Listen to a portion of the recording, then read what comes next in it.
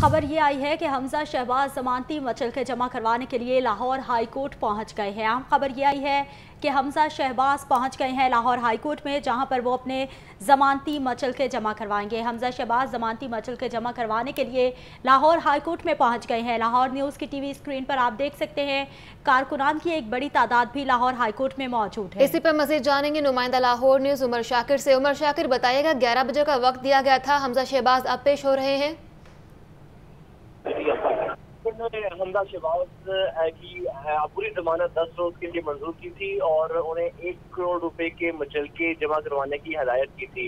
हमदा शहबाज आज अपनी कानूनी टीम के साथ लाहौर हाई कोर्ट पहुँचे हैं, जहाँ पर वो रजिस्ट्रार ऑफ़िस में एक करोड़ रुपए के मचल के जो है वो जमा करवाएँगे और अब वो हाई कोर्ट पहुँच चुके हैं और उनके साथ कारकुनान की बड़ी तादाद मौजूद है और हमदा शहबाज जो है वो इस वक्त लाहौर हाई कोर्ट ऑफ़िस में मौजूद हैं, जहाँ पर वो निकल के जमा करवा कर यहाँ से ठीक है, बहुत शुक्रिया उमर शाकिर आपका।